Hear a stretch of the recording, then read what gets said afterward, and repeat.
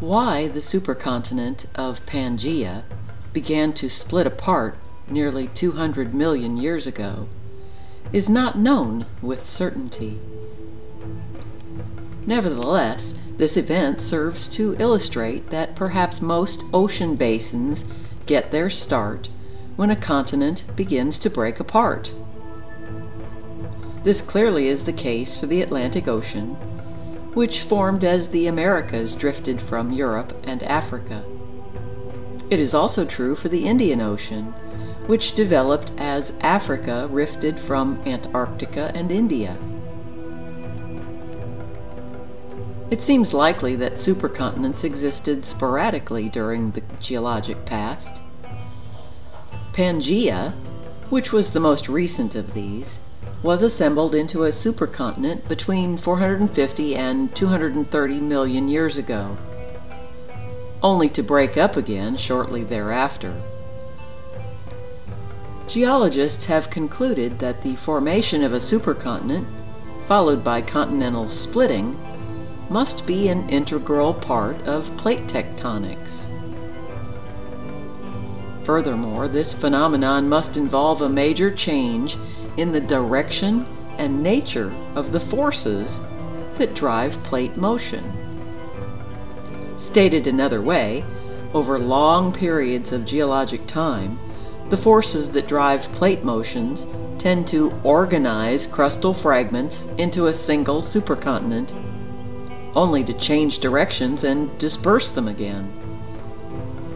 Two mechanisms that have been proposed for continental rifting one, plumes of hot mobile rock rising from deep in the mantle, and two, forces that arise from plate motions.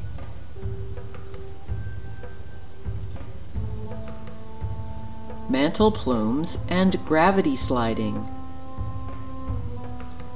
A mantle plume consists of hotter than normal mantle rock that has a large mushroom shaped head, hundreds of kilometers in diameter, attached to a long but narrow trailing tail. As the plume head nears the base of the cool lithosphere, it spreads laterally Decompression melting within the plume head generates huge volumes of basaltic magma that rises and triggers volcanism at the surface. The result is a volcanic region called a hotspot that can be more than a thousand miles across. Research suggests that mantle plumes would tend to concentrate beneath a supercontinent because once assembled, a large landmass forms an insulating blanket that traps heat in the mantle. The resulting temperature increase would lead to the formation of mantle plumes that serve as, a, as heat dissipation mechanisms. Evidence for the role that mantle plumes play in continental rifting is available from passive continental margins the former sites of rifting. In several regions on both sides of the Atlantic Ocean, continental rifting was preceded by crustal uplift and massive outpourings of basaltic lava. Examples include the Etendeka flood basalts of southwest Africa and the Parana basalt province of South America. About 130 million years ago, when South America and Africa were joined as a single landmass, vast outpourings of lava produced a large continental basalt plateau. Shortly after this event, the South Atlantic began to open, splitting the basalt province into what is now the Etendeka and Parana basalt plateaus. As the ocean basin grew, the tail of the plume produced a string of seamounts on each side of the newly formed ridge. The modern area of hotspot activity is centered around the volcanic island of Tristan da Cunha, which is located on the Mid-Atlantic Ridge.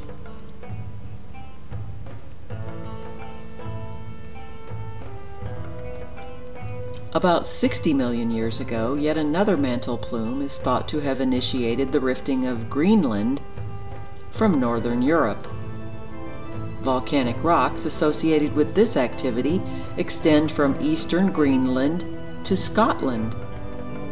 The hotspot associated with this event is presently situated beneath Iceland. From these studies, geologists have concluded that mantle plumes have played a role in the development of at least some continental rifts. In these regions, rifting began when a hot mantle plume reached to the base of the lithosphere and caused the overlying crust to dome and weaken. As the crust was buoyantly uplifted, it stretched and developed rifts similar to those in present-day East Africa. Simultaneously, decompression melting of the plume head led to vast outpourings of basaltic lavas. Following these episodes of igneous activity, an ocean basin began to open. The proposed mechanism for rifting is gravity sliding off the uplift caused by the plume buoyancy. It is important to note that not all hotspot volcanism leads to rifting. For example, vast outpourings of basaltic lava that constitute the Columbia River basalts in the Pacific Northwest, as well as Russia's Siberian traps, are not associated with the fragmentation of a continent. Slab pull and slab suction. It is generally agreed that tensional forces, which tend to elongate or pull apart a rock unit, are needed in order for a continent to be fragmented. But how do these forces originate? Recall that old oceanic lithosphere subducts because it is denser than the underlying asthenosphere. In situations where a continent is attached to a subducting slab of oceanic lithosphere, it will be pulled toward the trench.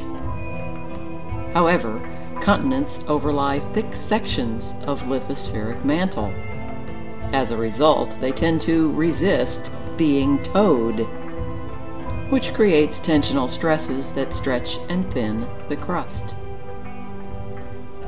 Whether slab pull can tear a continent apart is still being studied. Perhaps other factors, including the presence of hot spots or an inherent weakness in the crust, such as major fault zones, may contribute to rifting. Investigators have suggested that during the breakup of Pangaea, the Americas were rifted from Europe and Africa as a result of another force, slab suction. Recall that when a cold oceanic slab sinks, it causes the trench to retreat or roll back. This creates flow in the asthenosphere that pulls the overriding plate toward the retreating trench. During the breakup of Pangaea, a subduction zone extended along the entire western margin of North and South America. As this subduction zone developed, the trench slowly retreated westward toward a spreading center located in the Pacific.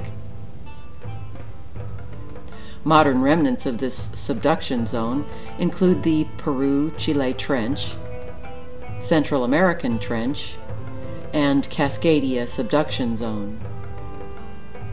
Slab suction along the entire western margin of the Americas may have provided the tensional forces that rifted Pangaea.